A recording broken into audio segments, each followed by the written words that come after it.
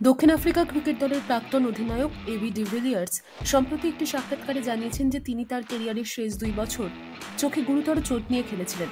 De Villiers দু সালে আন্তর্জাতিক ক্রিকেট থেকে অবসর নেন, কিন্তু দু হাজার একুশ সাল পর্যন্ত আইপিএলে খেলা চালিয়ে যান। ডিভিলিয়ার্স তার চোখের চোটের কারণ হিসেবে জানান, তার ছোট্ট ছেলের গোড়ালি তার চোখে লাগে। এরপর তার ডান চোখের দৃষ্টিশক্তি হারিয়ে যায় বলে জানান তিনি। আশ্চর্যের বিষয় হল, চোট থাকা সত্ত্বেও দুর্দান্ত খেলেছিলেন এবি